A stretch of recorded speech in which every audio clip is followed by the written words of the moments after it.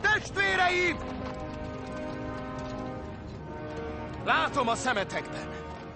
Ugyanazt a félelmet, mely engem is környékez. Eljöhet a nap, mikor a bátorság elhagy minket. Mikor cserben hagyjuk barátainkat, felbontjuk szövetségünket, de ez nem az a nap!